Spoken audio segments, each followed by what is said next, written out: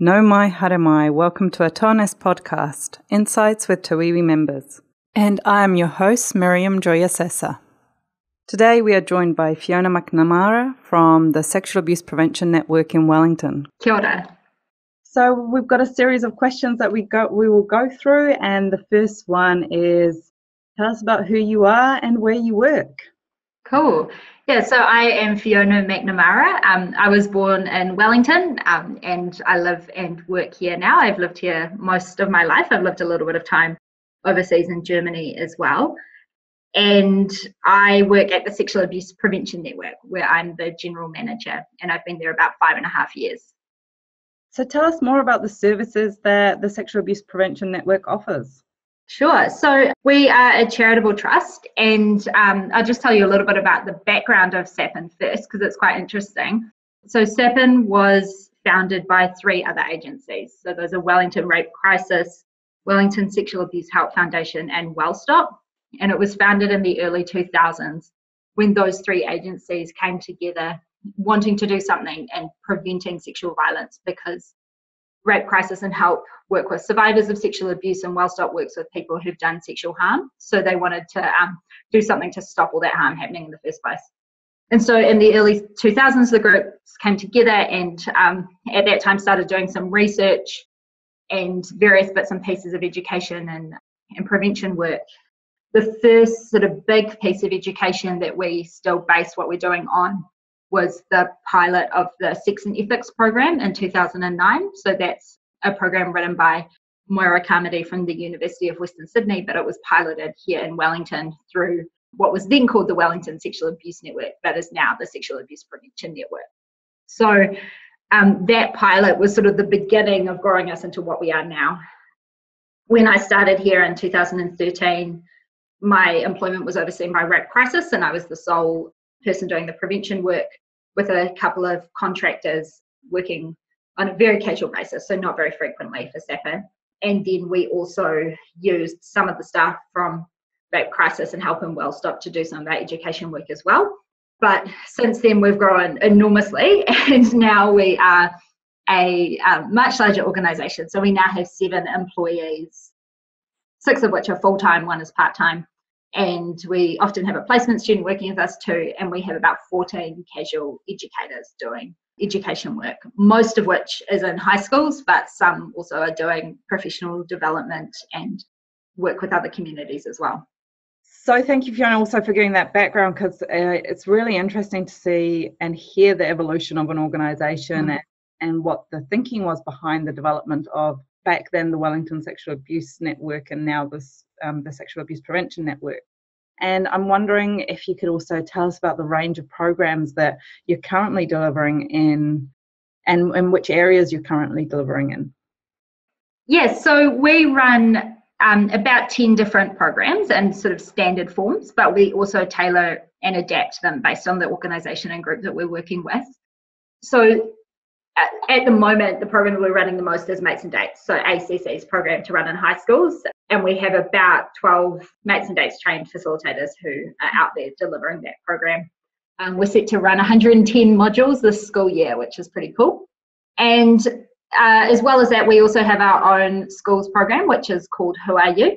And that also has quite an interesting history. So that was the development of that began in 2011. Prior to that, but for the Rugby World Cup that was going to be happening in Wellington. So a short film was developed which shows how people can intervene and be an ethical bystander. And from that, a toolkit was developed to support use of that film because there was concern that if not really well facilitated, that the messages in that film could be taken in the wrong way. So that toolkit was made and that program is running in lots of different communities around the country because we've provided that for free our program Who Are You that we run in schools is different from that toolkit because we've adapted it on an ongoing basis based on the evaluations that we've had from it and also our own experience of delivering it. So it's a bit different to what's in the toolkit. That's what we call our program that we run in secondary schools. Aside from that, we have some other programs for youth. So um, we haven't, with Sex and Ethics is still around, but not something that we run that often. So we also run a program called Friends, Whānau and Flirting for people with intellectual or learning disabilities. And that program primarily we've run with young people, but we have also run with people up to in their 60s as well. And that is one of my favourite programs to facilitate. I've run that about four times with a local group from Wellington. And one of the cool things is that we've got to work with the same group of people over time. So we've all, the facilitators, those us facilitating it, have really got to know them quite well, which has been really cool. And that program is it's a really important program because often people with disabilities are excluded from any kind of sexuality education and also violence prevention education. Often people I think, can be afraid to talk to people with disabilities about sex and sexuality and romantic relationships. And so, a big part of that program has been sort of allowing the group to be able to say sex in the room and that that's okay. And we can talk about that in that space and we can talk about relationships. Um, a lot of people in the group are already in relationships or previously been in relationships. And some people have also had some negative experiences. So, it's been a really valuable program to run. And we've seen a lot of benefits to those people who've been doing it. In terms of what other things that we do, um, so with this year we've been doing a lot of work in workplaces. And we have a new program that we've developed this year called Workplace Sexual Harassment Prevention and Response. It covers more than just harassment, it's the full broad spectrum of sexual abuse, but um, we do focus on harassment in that and have strategically used that in the title because it is an easier way to get into workplaces. It's easier to kind of start the conversation around harassment, but also talk about those very serious things that happen as well, but do happen less frequently than harassment does. And that's a, a four hour program that educates people about what sexual harassment is, what other forms of sexual abuse are, and focuses on building their skills to be able to recognize that in the workplace particularly as a bystander, but also if it's happening to them and also if they're doing it themselves. So our evaluation data from that program shows that very close to 100% of people have reflected on their own behaviour during that program. We've had a lot of really good comments from people about how they specifically have done that or what specific behaviours they've reflected on.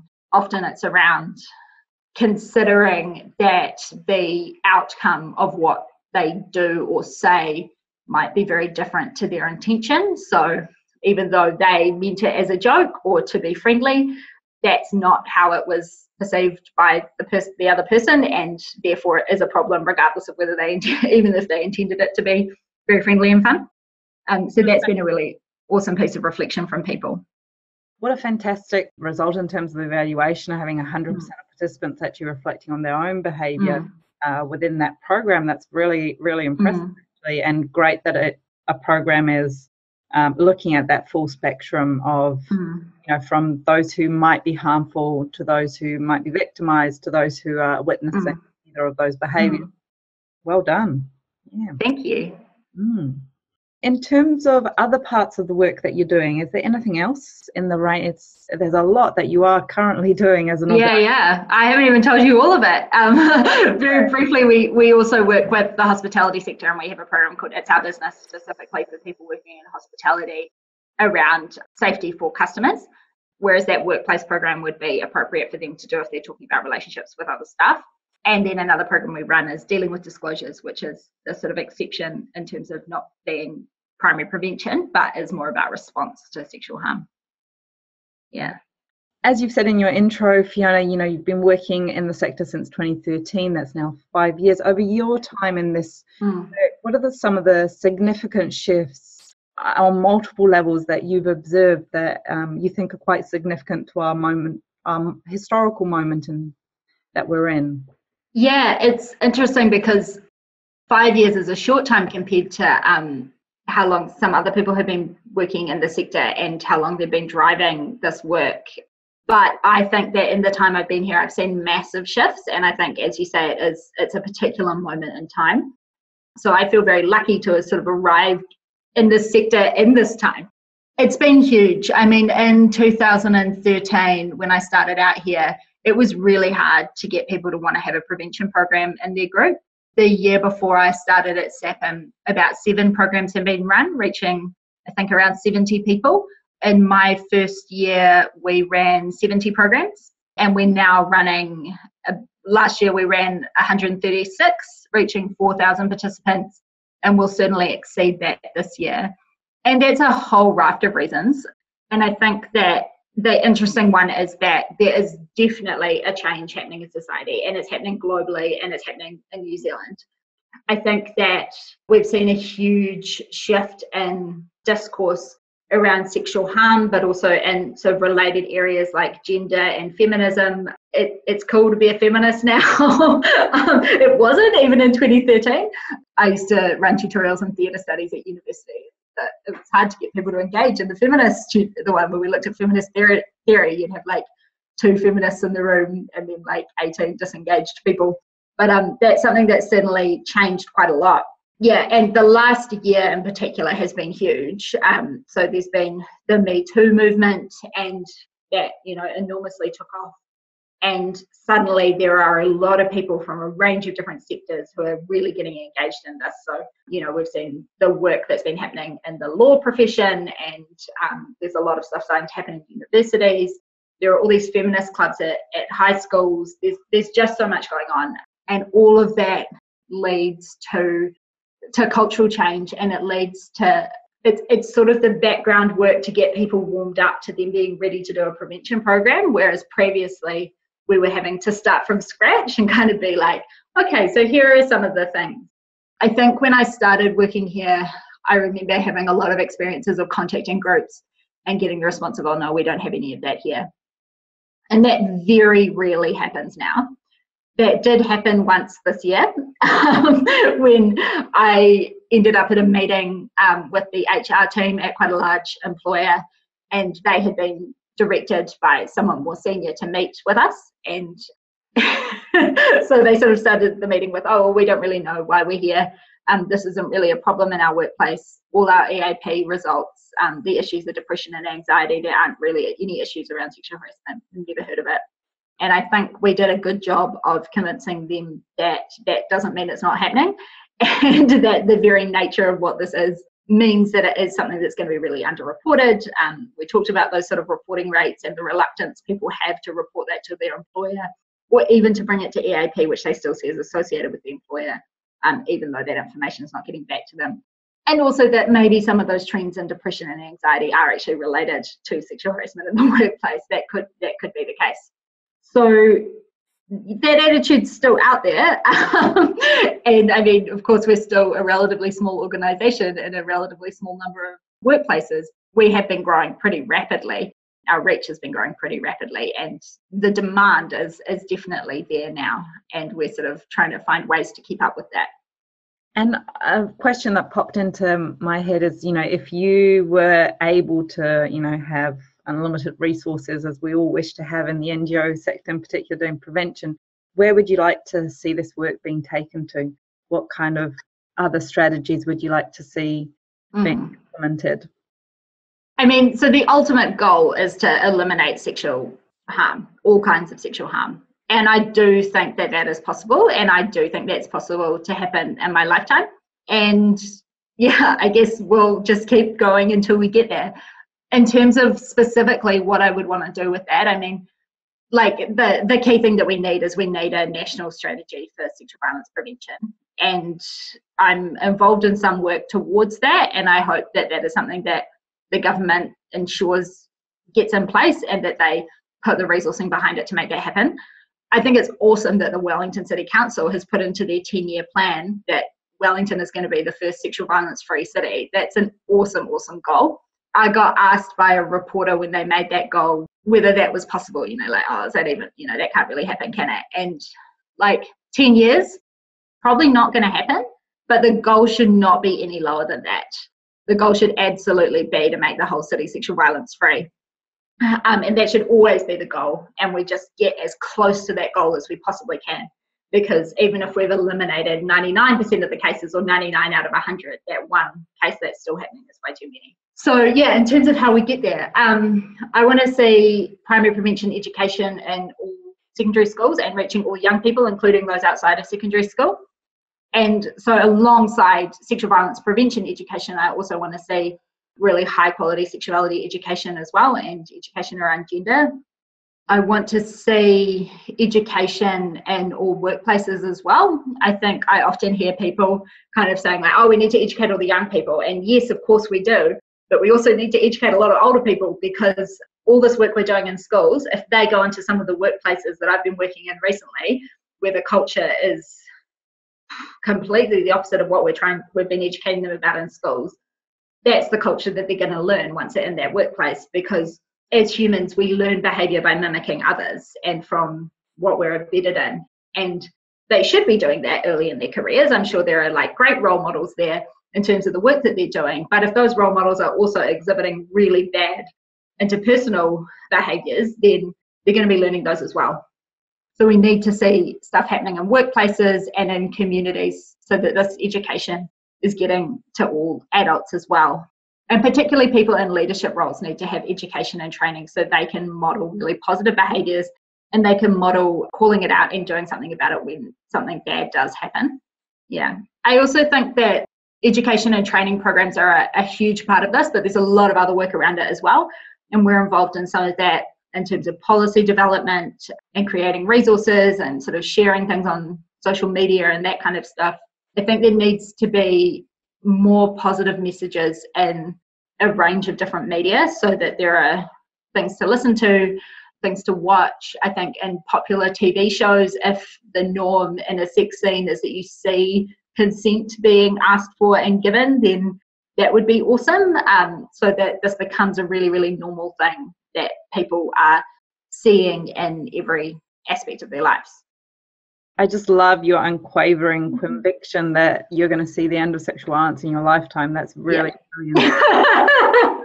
and and really really positive yeah. because I think often um oftentimes when when people are doing this work sometimes we can get a little jaded or a little overwhelmed by the enormity of the task but yeah. your positivity and clarity is very inspiring so thank you and it leads really well to my next question is what is your why in this work how do you how do you sustain that that very clear vision that you have? I mean, I guess my why is yeah, the sort of things I've said that I really do think that any instance of sexual violence is too many, and I really do think it is it's all preventable, and none of it should be happening. And so that's why I want to work towards this goal of ending all sexual violence. It's a huge global problem, but we also have shockingly high rates in New Zealand. And I, yeah, I just think it has to end. that's why I do it. Um, in terms of how I sustain myself, I think that the work, I really do think that the work that we do at Sexual Abuse Prevention Network and the work that other organisations in our sector do is really valuable and it is really effective. Um, and I think that we are seeing change. I think working in this work at this time is fantastic because, as we've talked about, we've seen a lot of change across society. And so we're seeing these really big cultural shifts. And I know that we are part of making that happen and part of leading that. So that's certainly something that helps drive me to continue with this. Fabulous. And you talked a lot about um, that kind of interconnectedness as well around all of our services and how we're all kind of part of this together. I'm wondering mm. if you can share, in particular for those who might be interested in starting this journey or want to get involved in sexual violence prevention or just sexual violence work in general, I wonder if you could share any kind of big learning moments that you've had while while doing this work. Yeah, so I've learned an enormous amount in the time that I've been working in this sector, and I put a lot of that down to the enormous wealth of knowledge and generosity of people I've worked with. So I learnt a lot from the three agencies involved in the collaboration of Sexual Abuse Prevention Network. There are staff there who just have, have so much knowledge and have been working in this area a long time. And so I've learned a lot from them.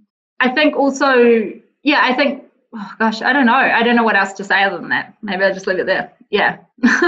okay, you can leave it there. Yeah. we're coming to the end of our, our mm. interview today, and wondering if there's any last reflections you'd like to leave with the sector and those beyond the sector around around all of this work and and what we could do more to work together.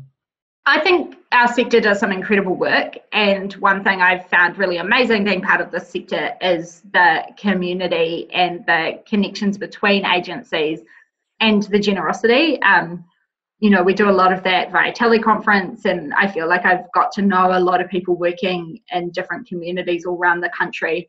And people are really open and willing to share what they're doing. There's not a real competitiveness between different agencies, which there could be, but it isn't. People see it as part of the bigger picture and the and the ultimate goal of ending sexual violence, and they want to support each other to do that and ensure that we get education and lots of initiatives happening in communities all around the country. Great, thank you, Fiona. And it's been so great to hear more about you and your um, and your passion for this work. So I'm really, really grateful for this interview, and I'm sure others will find it really interesting. And this is where we're going to end. And I think um, Fiona's like passion and vision and clarity and connectedness with the sector is really the purpose of these podcasts is to get to know each other better and ultimately foster uh, our great work in, in seeing the end of sexual violence happening. And I'm going to add it in our lifetime because we yeah. can achieve this. So awesome. Yeah, we absolutely can. Yeah. So thank you very much. Cool. We'll end this here and we will be, see you all at the next episode within the next few months.